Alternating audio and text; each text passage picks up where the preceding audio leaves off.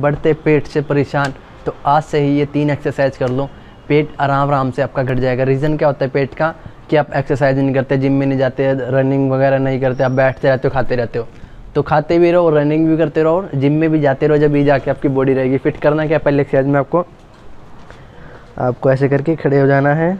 खड़े होकर आपको ऐसे हाथ करके एक, दो, तीन, चार, पाँच छः सात के करके फिर छः सात के करने हैं। एक, दो, तीन, चार, पाँच, छः।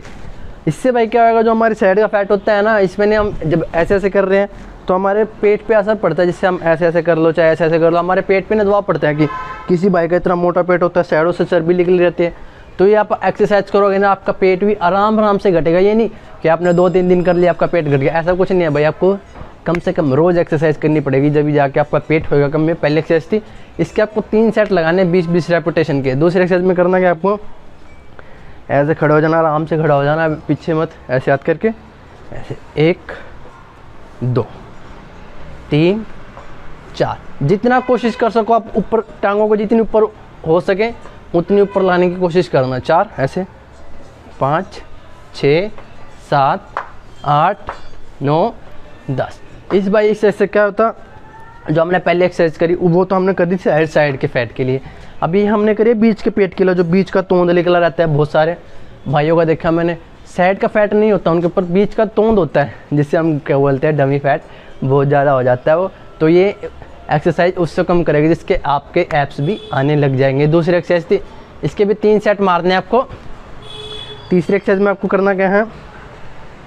ऐसे खड़े होकर आपको हाथ को ऐसे लेके पैर को नहीं, आपको नहीं, ऐसे नहीं रखना, आपको नहीं हवा में उठना।